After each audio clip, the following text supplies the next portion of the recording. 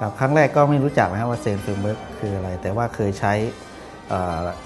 ตัวทูตัวทูตัวอื่นในการพัฒนาเว็บไซต์อยู่นิดหน่อยนะครับ แล้วก็มีความรู้ด้านเอ่อ PHP มาเอ่อ HTML นิดหน่อยนะครับ แต่พอได้มารับการฝึกอบรม ก็มีความรู้เพิ่มขึ้นนะครับ แล้วก็รู้ว่าเออตัว Zend Framework นี่เป็นทูที่ใช้ได้ฟรีนะฮะแล้วก็เป็น Open Source ที่สามารถนำไปพัฒนาต่อได้ในส่วนของการนำไปใช้พัฒนาใช้ต่อนี่ก็จะพัฒนาในการพัฒนาเว็บนะฮะเว็บของของหน่วยงาน แล้วก็การเรียนรู้ศึกษาเพิ่มเติมจากในเว็บเพื่อที่จะมาปรับปรุงตัวเองพัฒนาตัวเองให้มีความรู้เพิ่มขึ้นนะในการจัดทำเว็บไซต์ แล้วก็พัฒนาเว็บไซต์ทั่วไปนะฮะแล้วก็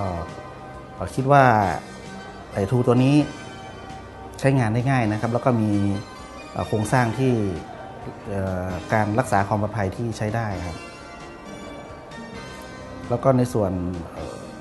ฐานข้อมูลที่ใช้ก็คือ MySQL ใช่ไหมแล้วก็ภาษาที่ใช้คือ PHP ก็คิดว่าเป็นภาษาที่มาตรฐานทั่วไปที่เขาใช้กันนะครับทำให้สามารถที่จะศึกษาเพิ่มเติมได้ง่าย ง่ายกว่าภาษาอื่นนะฮะอืม